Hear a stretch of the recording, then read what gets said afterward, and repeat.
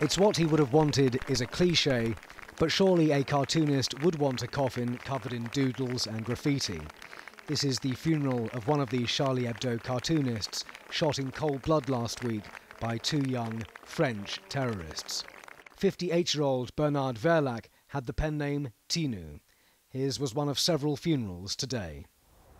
France remains on edge. A policewoman was run over deliberately outside the presidential Elysee Palace, but police are now ruling out a link with last week's attackers.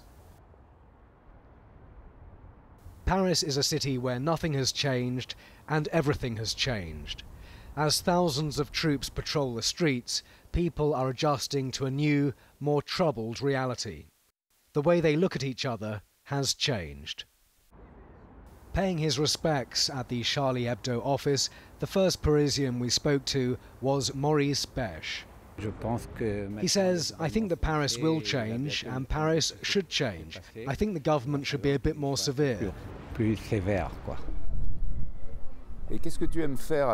This family on the school run have Jewish heritage. It's never been an issue at their mixed school until now. To give you an example of um, something that doesn't feel very nice. Our son came home yesterday saying, um, uh, Is it true that I have a Jewish name? Don't you know we can change our name? You know, um, this is not going to help me feel safe.